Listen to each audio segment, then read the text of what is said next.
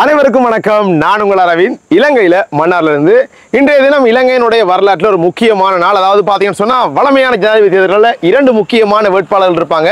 இந்த முறை ரெண்டு மூன்று பேர் இருக்கிறாங்க அப்படின்றதால போட்டி ரொம்ப பலமாக இருக்க போது மக்கள் பார்த்தீங்கன்னா காலையிலிருந்தே ஆர்வமாக பல தேர்தல் வாக்களிப்பு நிலையங்களில் வந்து வாக்களிக்க போய் கொண்டிருக்காங்க.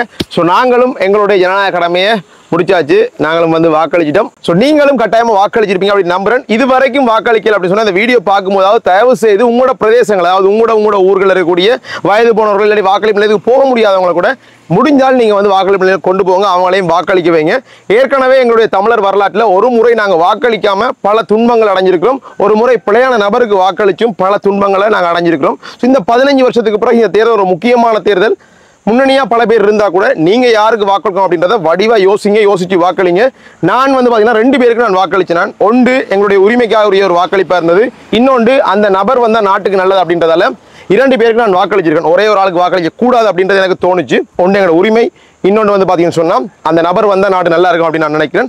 அது யார் அப்படின்றது நீங்களே சொல்லிக்கோங்க. நான் வந்து வீடியோவில் சொல்கிறது வந்து யாரோ ஒரு நபருக்கு நான் வந்து ஆதரவு கொடுக்குற மாதிரி இருக்கும் அப்படின்றதால என்னுடைய காணொலி பார்க்கக்கூடிய நீங்கள் பல்வேறுபட்ட கருத்துக்கள் கொண்டிருப்பீங்க. பல பேருக்கு ஆதரவு கொடுக்கணும்னு நினச்சி கொண்டிருக்கிறதால அந்த முரண்பாடுகள் உள்ள தேவையில்லை அப்படின்றதால நான் வந்து பார்த்தீங்கன்னு சொன்னால் கட்டாயமா உங்களோட வாக்களிங்க. நீங்க ஒருத்தருக்கு கொடுக்கலாம் ரெண்டு பேரோ மூணு பேரோ அது உங்களுடைய விருப்பம். ஆனால் வாக்களிப்பு நிலையத்துக்கு போய் கட்டாயமா நிராகரிக்கப்பட வாக்கா போட்டுறாம நல்ல ஒரு வாக்கு அதாவது ஒரு ஆளுக்கு தான் போட போறீங்கன்னா புல்லடியை மட்டும் போட்டு அந்த வாக்களிப்பு நிலையத்தில் போய் செஞ்சிருங்க அப்படின்றத நான் கேட்டுக்கொள்றேன். இன்னொரு முக்கியமான விஷயம் எங்களோட தமிழர் பதிகளில் வளமையாகவே வந்து பார்த்தீங்கன்னு சொன்னால் பாராளுமன்ற தேர்தல் மற்ற தேர்தல்களில் வந்து வாக்களிப்பு வீதம் எப்பயுமே அதிகமாக இருக்கும். அதே மாதிரி இந்த முறையும் எங்களுடைய வடக்கு பகுதியில் இருக்கக்கூடிய தமிழர்களோ கிழக்கு பகுதியில் இருக்கிற தமிழர்களோ இல்லாட்டி மலையகத்தில் வாழக்கூடிய தமிழ் பேசும் மக்கள் எல்லாருமே வந்து நீங்கள் வந்து வாக்களிப்பு நிலையங்களுக்கு போய் முடிந்த அளவுக்கு நீங்கள் வந்து வாக்களிங்க. ஏன்னா சில நேரம் எங்களுடைய வாக்குகள் இவ்வளவு காலமும் சில நேரத்தில் பெரும்பான்மையுடைய வாக்குகள் தான் வந்து ஜனாதிபதி தேர்தலில் தீர்மானிக்கதாக இருந்திருக்கலாம். சில நேரம் இந்த முறை நாங்கள் அளிக்கக்கூடிய வாக்குகள் தான் எல்லாருமே ஈக்குவலாக தெரிஞ்சால் நாங்கள் அளிக்க போகிற இந்த வாக்குகள் தான் வந்து அந்த வெற்றியாளர் தீர்மானிக்கிற வாக்குகளாக இருக்கலாம்.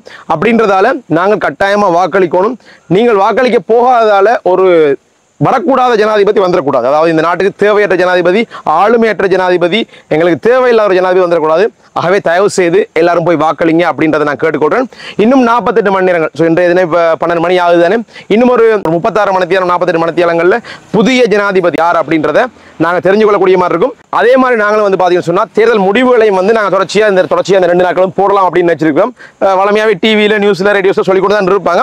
பட் இருந்தாலும் எங்களுடைய சேனல் பார்க்கக்கூடிய நேயர்களுக்காக அந்த விஷயங்களையும் நாங்கள் அப்டேட் பண்ணலாம் இருக்கோம். இப்போ மாவட்ட ரீதியாக தேர்தல் முடிவுகள் வரும்போது மன்னர் மாவட்டம் வந்து அதை உடனடியாக நாங்கள் அப்டேட் பண்ணுவோம். அதே மாதிரி ஒவ்வொரு மாவட்ட ரீதியாக வரும்போது அதை நாங்கள் அப்டேட் பண்ணலாம்னு நினைச்சிருக்கோம். நாங்கள் யாருக்கும் சார்பாக இந்த காணொலி பதிவு செய்யலாம் நாங்கள் ஒரு பொதுவாக இருந்து வாக்களிப்பு நாங்கள் கட்டாயமாக செய்யணும். அது எங்களுடைய ஜனநாயக கடமை அப்படின்றது தான் இந்த காணொலியில் சொல்கிறேன் எல்லாரும் நம்புவோம். நல்ல ஒரு ஜனாதிபதி நாங்கள் எல்லாருமே நினைச்ச ஒரு ஜனாதிபதி இந்த நாட்டுக்கு வரணும்.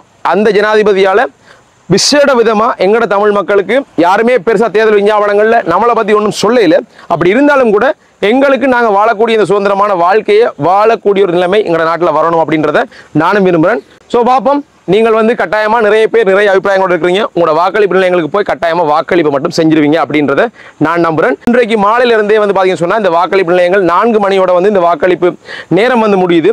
அதுக்கு பிறகு அங்கே இருக்கக்கூடிய மாவட்ட செயலகங்களுக்கு வந்து பார்த்தீங்கன்னு சொன்னால் ஒவ்வொரு வாக்களிப்பு நிலையத்தில் இருக்கக்கூடிய அந்த பெட்டிகள் எல்லாமே வந்து கொண்டு போகப்படும். போலீஸ் பாதுகாப்பு அதே மாதிரி பெஃபரல் அப்படிலாம் சொல்லுவாங்க. நிறைய ஒரு கண்காணிப்போட தான் வந்து இந்த பெட்டிகள் எல்லாமே கொண்டு போகப்படும். மாவட்ட செயலகத்தில் வச்சு பார்த்தீங்கன்னு சொன்னால் வாக்கு பணிகள் வந்து இன்று இரவு ஆரம்பிக்கும் அப்படின்னு எதிர்பார்க்கலாம். ஸோ உடனுக்குடன் வரக்கூடிய செய்தி எல்லாத்தையும் நாங்கள் இந்த ஜனாதிபதி தேர்தல் முடியும் வரைக்கும் கட்டாயமாக தருவோம். நீங்கள் வாக்களிச்சுட்டு வந்துட்டீங்க அப்படின்னு சொன்னால் யாருக்கு வாக்களிச்சீங்க அப்படின்றத மறக்காமல் நீங்கள் சொல்லலாம்னு நினைக்கிறேன். ஸோ இன்னும் ஒரு நல்ல காலம் சந்திப்போம். நாளைய தினம் எங்கள் நாட்டுக்கு தேவையான ஒரு நல்ல ஜனாதிபதி வருவார் அப்படின்றத நாங்களே நம்புகிறோம் கடவுளும் நல்ல ஒரு விஷயத்தை செய்யணும். நாங்கள் இருக்கக்கூடிய வாழ்க்கை இப்படியே போய் கொண்டு கூட பரவாயில்ல. பெரிய ஒரு அபிவிருத்தி இல்லாட்டி பிரச்சனை இல்லை நாங்கள் திரும்பவும் ஒரு பழைய நிலைமைக்கு போகாத மாதிரி எங்களோட வாழ்க்கை போகணும்னு சொல்லி எல்லாரும் கடவுளை பார்த்துக்கொள்வோம். எல்லாரும் மக்களுடைய அதாவது அதிக மக்களுடைய ஒரு எண்ணம் நாளைக்கு நிறைவேறும் நம்புவோம். சந்திப்போம். நாளைய தினம் யார் அந்த புதிய ஜனாதிபதி பொறுத்து வந்து பார்ப்போம். நன்றி.